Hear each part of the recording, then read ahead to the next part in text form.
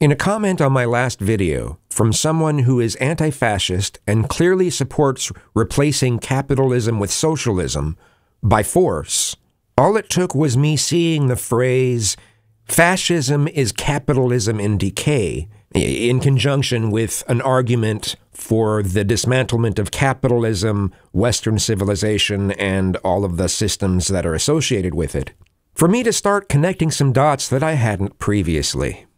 Now, fascism is capitalism in decay was originally said by Vladimir Lenin. And I've seen that phrase before, but I hadn't really considered that people seriously considered that in 2023.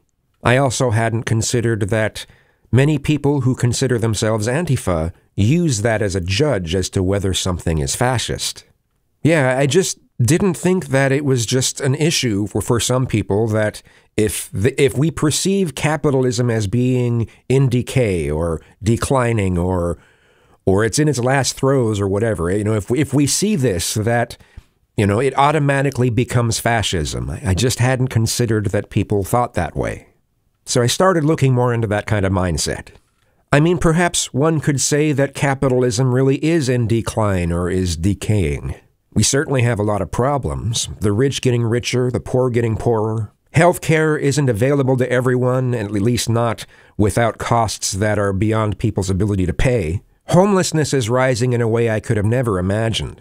Shoplifting like I've never seen, like when I go into Fred Meyer or Walgreens or something. There, there's tons of items they have locked up, like makeup and deodorant and stuff.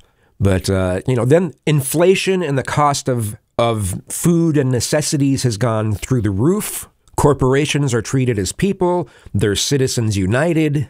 There are so many things that are messed up. But does that mean that this stuff can't be fixed? Are we really at a point of no return? Is capitalism simply working the way it was designed, and no amount of regulations will significantly improve the situation? At what point does capitalism become fascism, if we're to define fascism as capitalism in decay?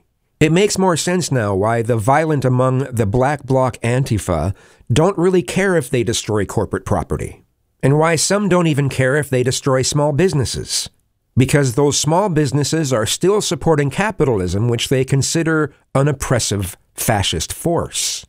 And they assume insurance will cover it. If you want to stop them in any way from destroying property, you are considered a fascist, like a brown shirt, for apparently caring more about property than human lives. So, yes, Antifa is an idea, but that idea seems to be firmly aligned with anti capitalism, as well as seemingly being against the promotion of any of the cultural norms of the country, as well as being against anything that's remotely traditional. Do you think fascism is capitalism in decay? Have we decayed enough to call it fascism? Do you think that's an absurd way to define fascism?